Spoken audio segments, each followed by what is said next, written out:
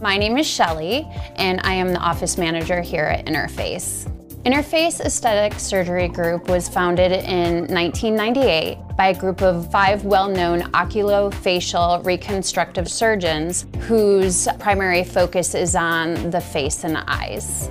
We do all of the non-surgical procedures here at Interface, such as injectables, facial treatments, we do laser treatments, we've got skin tightening procedure, we do permanent makeup, laser hair removal, tattoo removal. We have a wide range of amazing options here at Interface.